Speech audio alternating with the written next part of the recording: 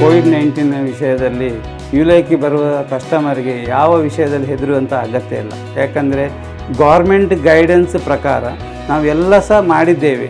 ಅದರ ವಿಷಯದಲ್ಲಿ ಯಾವುದೇ ಒಂದು ಫ್ಯಾಮಿಲಿ ಬರುವವರಿಗೆ ಆಗಲಿ, ಮಕ್ಕಳಿಗೆ ಬರುವಾಗಲಿ ಯಾವ ವಿಷಯದಲ್ಲಿ ಹೆದರುವಂಥ ಅಗತ್ಯ ಇಲ್ಲ. ಜೊತೆಗೆ ನಮ್ಮ ಸ್ಟಾಫ್ನವರಿಗೆ ಸಹ ನಾವು ಟ್ರೈನಿಂಗ್ ಕೊಟ್ಟಿದ್ದೇವೆ.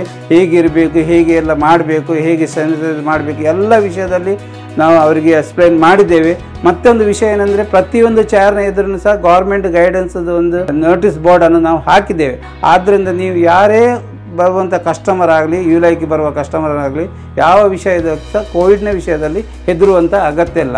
ಯಾಕಂದರೆ ಎಲ್ಲ ಐಟಮ್ಸನ್ನು ನಾವು ಡಿಸ್ಪೋಸಬಲು ಎಲ್ಲ ಸ್ಯಾನಿಟೈಸರ್ ಮತ್ತು ಎಲ್ಲ ಮಾಡಿ ಅದನ್ನು ಮುಖಾಂತರನೇ ಸರ್ವಿಸ್ ಮಾಡೋದು. ಆದರೆ ಯಾವ ವಿಷಯದಲ್ಲಿ ನೀವು ಹೆದರುವಂಥ ಅಗತ್ಯ ಇಲ್ಲ.